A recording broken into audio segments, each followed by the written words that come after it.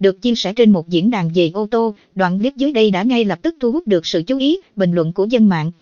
Theo người đăng tải chia sẻ thì chủ nhân chiếc xe này vừa đổ không lâu thì đã xuất hiện một người đàn ông đi tới, ông này cầm theo vật nhọn, không chần chừ đâm thủng lốp xe.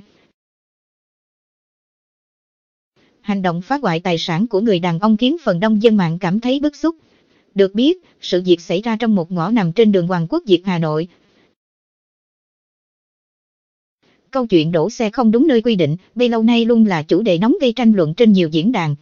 Cũng đã có rất nhiều trường hợp, các chủ xe phải nhận những bài học sâu cay, nhớ đời vì hành vi thiếu ý thức của mình. Người đàn ông trong clip hoàn toàn có thể tìm cách nhắc chủ xe một cách văn minh hơn, thay vì hành vi phá hoại tài sản người khác như thế này. Người đàn ông cầm vật nhọn đâm thủng lốp xe đổ trước cổng. Nguồn clip, ối,